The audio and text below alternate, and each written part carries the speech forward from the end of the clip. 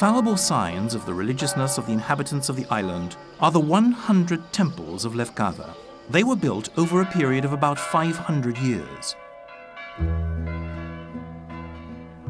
In the center of the town, there is Agios Nikolaos, built in 1687 with the permission of the Venetian authorities. The iconostasis is exceptionally imposing. The icons are works of Ioannis Roussos and are considered to be of his best ones. In Agios Dimitrios, built in 1688, the art catches the eye. The iconostasis, the work of Panayotis Prosalendis, was done in 1870. The three pictures attached to the gates, including Jesus, the great archpriest, are works of Panayotis Doxaras. Since 1707, the temple of Saints Minas, Victor, and Vincent portrays the combination of the talent of its creators.